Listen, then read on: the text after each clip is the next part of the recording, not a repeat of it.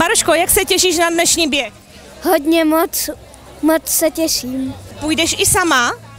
Ano, půjdu.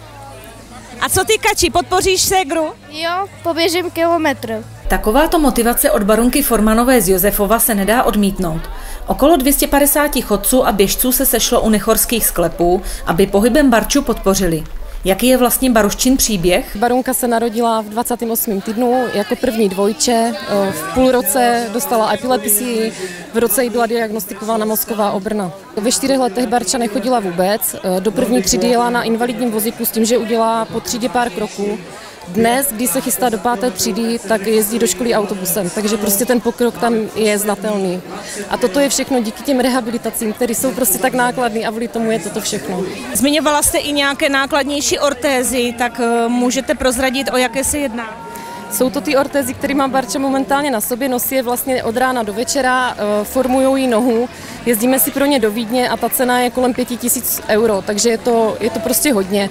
Ty ortézy vydrží zhruba na rok a půl podle toho, jak jí roste noha. Díky těm ortézám je vlastně přibližuje se tomu, jak chodí zdraví lidi. Jo, ona vlastně bez ortéz má ty nožky pokři, pokřivený, chodí kolínkama k sobě, ty ortézy to drží vlastně ve správném postavení a je prostě, co je nosí, tak je obrovský pokrok vidět na ní. Hlavním organizátorem běhu pro Barču byli běžci z Prušánek za podpory obce Prušánky. Jak vznikla myšlenka uspořádat běh pro Barču? tak vznikla víceméně spontánně, že jsme se tak nějak sešli, sesedli kamarádi, všichni, co se známe a jsme nadšení běžci a vzpomněli jsme si, že eh, Barčej potřebovala pomoc, tak jsme tak nějak uspořádali tuto akci charitativní a velmi děkujeme teda obci Prušánky, že se k tomu zapojila s námi a taky spoustu kamarádů se připojilo a tak nějak jako charitativně nezjištně nám pomáhá, takže všem, všem dárcům a všem vlastně pomocníkům moc děkujeme. Jsme tomu strašně rádi, že eh, tí, ta skupina lidí, eh, těch sportovců, kteří přišli s tímto nápadem, takže že to udělali. Mě to nadchlo a vůbec obec jako takovou, všechny zaměstnance to nadchlo, takže se podílíme opravdu eh, vší silou, jak se říká, a eh, máme z toho obrovskou radost. Malé i větší děti, rodiče z kočárky, běžci amatéři i profesionálové, chodci z Holemy Nordic Walking a dokonce i klub seniorů Prušánky se zapojili do perfektně zorganizované sportovní akce. My jsme se domluvili jako senior klub, že půjdeme taky podpořit Barču, tak jsme se svolali, nevím, kolik přesně nás je, tak jsme se svolali a prostě uděláme takovou akci. Takže jsme rádi, i když mnohé z nás, některá je po operaci, tak nemůže nikam jít, jedna není dobře, ale říká, já nemůžu ani chodit, ale já zase hodnotím to, že tedy děvčata jsou tak ochotné a přišli, takže jsem ráda, že jsme se tak sešli. I Barunka zvládla trasu s dětmi na 500 metrů za pomocí rodičů a v cíli ji čekal obrovský potlesk. Poté absolvovala s rodiči ještě i hlavní závod a to běh na 5 a 10 kilometrů ve speciálním sportovně upraveném vozíku. V tu chvíli se stala i kameramankou trasy.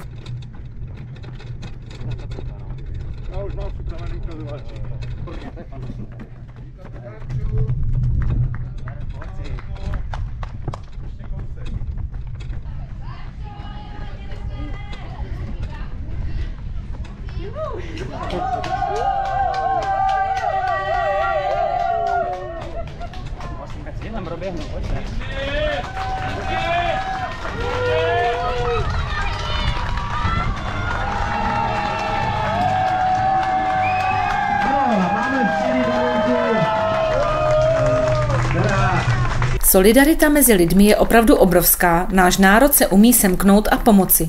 Kdo však rodinu Barči podporuje pravidelně? Dlouhodobě nás podporuje obec Josefov, Prušanečtí vinaři, Chasa, základní škola a teď nově taky obec Prušánky, která prostě zaštiťuje tuto akci. Za nadace bych jmenovala nadaci Život dětem, naše dítě.